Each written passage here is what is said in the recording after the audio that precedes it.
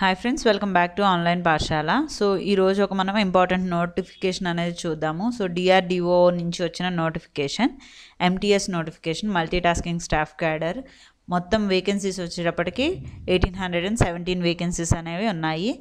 And crucial date of eligibility so ఏదైనా age కానీ qualification కానీ ఏదైనా చెప్పారు అని అంటే దా అది twenty third January two thousand twenty లోపు మీకు ఆ ఏజ్ వచ్చి ఉండాలి. లేదంటే ఇంకా క్వాలిఫికేషన్ అనేది ఉండాలన్నమాట. ఓకేనా? And opening date for online application so twenty third December నుండి టెన్ ఓ క్లాక్ నుండి మీకు అప్లికేషన్స్ అనేవి ఓపెన్ అయి ఉన్నాయి. అలాగే ట్వంటీ థర్డ్ జనవరి వరకు మీరు అప్లై చేసుకోవచ్చు. అలాగే ఎగ్జామ్ ఎప్పుడు అన్నది మీకు తర్వాత ఇంటిమేట్ అనేది చేస్తారు. ఓకేనా? So multi tasking staff general serve central service group C non gazetted ministerial పో పోస్ట్ అనమాట సో ఈ పోస్టులకి మనకి ఏమేమి ఎంత ఏంటి క్వాలిఫికేషన్ ఎన్ని పోస్టులు ఉన్నాయనేది చూద్దాము. ఎడ్యుకేషనల్ క్వాలిఫికేషన్ వచ్చేటప్పటికి టెన్త్ క్లాస్. మీరు టెన్త్ క్లాస్ కానీ ఐటీఐ కానీ కంప్లీట్ చేసి ఉండాలి. పాస్ అయి ఉండాలి. ఓకేనా? సో ట్వంటీ థర్డ్ జనవరి కల్లా మీకు మీరు టెన్త్ క్లాస్ పాస్ అయి ఉండాలి లేదా ఐటీఐ కంప్లీట్ చేసి ఉండాలి. ఒకవేళ ఇప్పుడు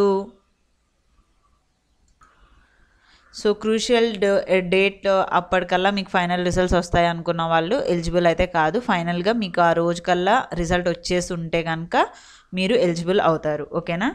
నెక్స్ట్ ఎన్ని వేకెన్సీస్ ఉన్నాయో చూద్దాము. So ఎస్సీకి one sixty three ST one fourteen OBC five nought three EWS one eighty eight UR eight forty nine total eighteen hundred and seventeen ESM MMSP PW category A BC ఇవన్నీ ఇంకా notification eighteen eighteen eighteen nineteen ఉన్నాయి. ఓకేనా?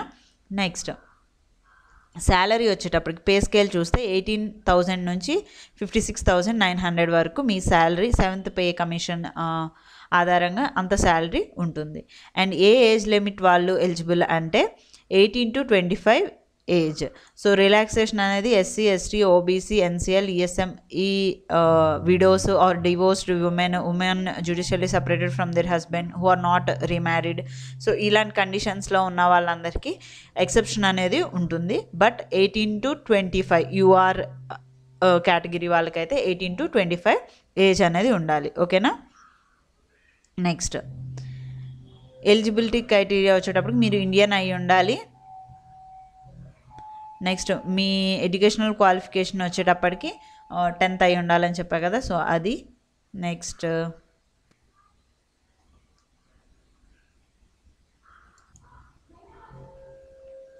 So exam fee వచ్చేటప్పటికి hundred rupees. అలాగే all women and SC ST PWD and ESM candidates are exempted from payment of application fee ఓకేనా? So మిగతా వాళ్ళందరికీ hundred rupees. And ఈ ఎగ్జామ్ వచ్చేటప్పటికి tier one tier టూలో ఉంటుంది. సో టైర్ వన్ వచ్చేటప్పటికి మీకు స్క్రీనింగ్ టెస్ట్. సో ఇది క్వాలిఫై అయిన వాళ్ళకే మీకు టైర్ టూకి ఎలిజిబుల్ అవుతారు. సో నెక్స్ట్ రౌండ్కి ఎలిజిబుల్ అవ్వాలంటే మీరు స్క్రీనింగ్ టెస్ట్ టైర్ వన్ అనేది మీరు ఎలిజిబుల్ అది క్వాలిఫై అయ్యి ఉండాలి. సో ఆ కట్ ఆఫ్ మార్క్స్ అనేవి తర్వాత పెడతారు. సో మీ టైర్ వన్ వచ్చేటప్పటికి reasoning general awareness quantitative aptitude and numerical ability. So total ఎంత? హండ్రెడ్ మార్క్స్కి ఉంటుంది ninety minutes one and half hour ఉంటుంది. సో ఇది క్వాలిఫై అయితేనే మీరు టైర్ టూకి ఎలిజిబుల్ అవుతారు. సో టైర్ టూ మార్క్స్ అనేవి మీ ఫైనల్ సెలెక్షన్కి ఆ మార్క్స్ అనేవి మాత్రమే కన్సిడర్ చేస్తారు. సో సీబీటీ ఫైనల్ సెలెక్షన్ వచ్చేటప్పటికి మీకు general science general maths and general English.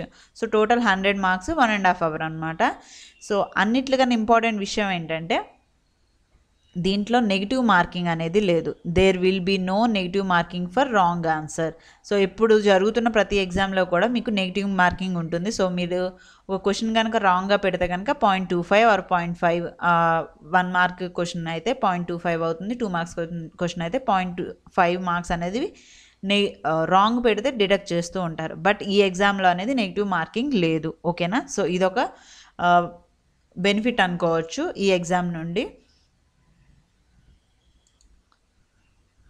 So మీకు tier one minimum cut cut off marks అంటే ఫార్టీ పర్సెంట్ మార్క్స్ రావాలి. అంటే ఫార్టీ మార్క్స్ వస్తేనే దాంట్లో కూడా కట్ ఆఫ్ పెడతారు.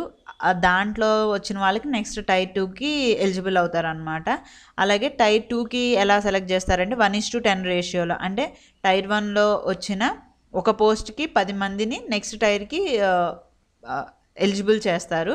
సో ఆ నెక్స్ట్ టైర్కి మీరు రాయాల్సి ఉంటుంది. వన్ ఇస్ టు టెన్ రేషియోలో తీసుకుంటారు. ఓకేనా? నెక్స్ట్ um, మనకి ఎగ్జామ్ సెంటర్స్ వచ్చేటప్పటికి విజయవాడ విశాఖపట్నం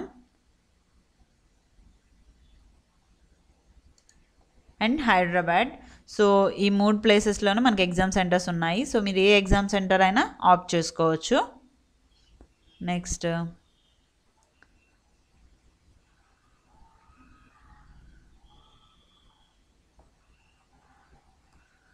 సో ఇది ఈ నోటిఫికేషన్ గురించి. ఎగ్జామ్ వచ్చేటప్పటికి ప్యాటర్న్ ఇది ఇచ్చారు.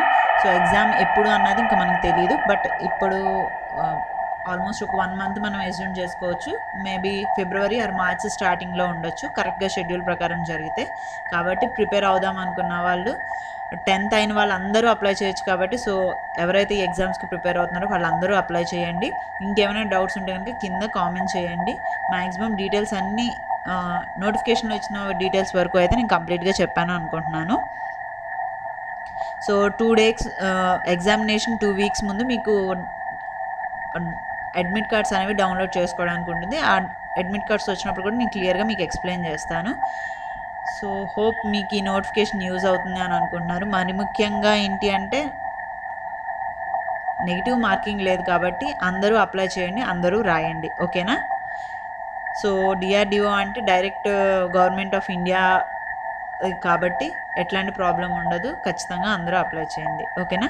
ఇంకేమైనా డౌట్స్ ఉంటే కింద కామెంట్ చేయండి. ఆ డౌట్స్ నేను నెక్స్ట్ వీడియోలో క్లారిఫై క్లారిఫికేషన్ ఇస్తాను. So thank you for watching the video. Have a nice day.